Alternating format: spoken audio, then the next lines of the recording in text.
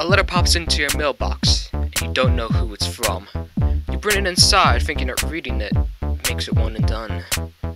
But to your surprise, things aren't quite what you'd expect. You read it, and this is what it says.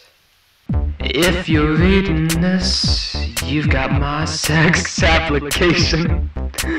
I scouted through everyone in the nation.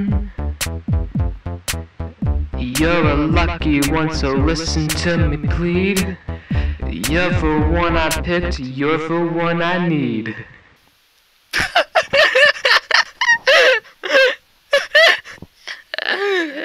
This song sucks.